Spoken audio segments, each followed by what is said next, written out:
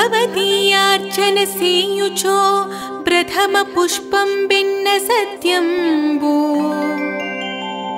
रेन्दव पुष्पम्बुदया गुणम् बति मे कनिष्ठा समोत्सवसम्पत्ति तृतीयपुष्पमदे भास्वद्भक्तिसंयुक्तियोगविधानं बविले भास्वद्भक्ति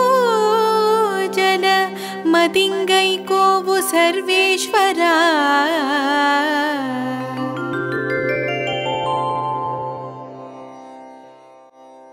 పదవిభాగము భవత్ అదీయ అర్చన సేయుచోన్ ప్రథమ పుష్పంబు ఎన్న సత్యంబు రెండవ పుష్పంబు దయాగుణంబు అతి విశిష్టంబు ఏకనిష్ఠ సమ ఉత్సవ సంపత్తి తృతీయ పుష్పము అది భాస్వత్ భక్తి సంయుక్తి యోగ విధానంబు.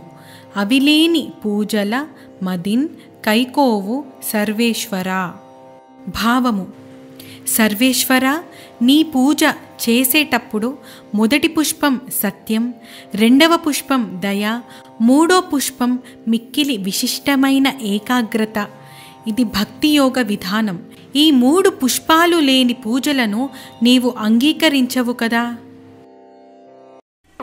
Thanks for watching this video please like share and subscribe to Dharani TV